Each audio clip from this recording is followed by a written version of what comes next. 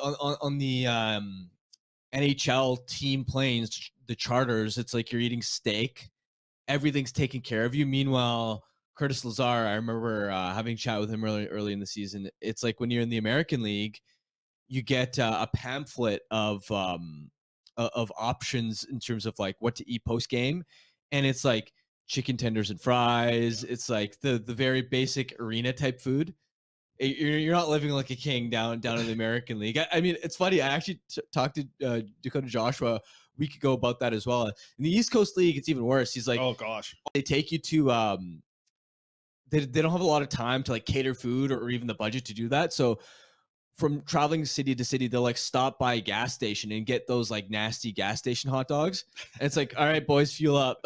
yeah, fuel up is right. No, I said they're eating like us uh, in the AHL. I know that. Uh, hey, we've had our, our fair share of chicken fingers uh, over the years. That's for sure.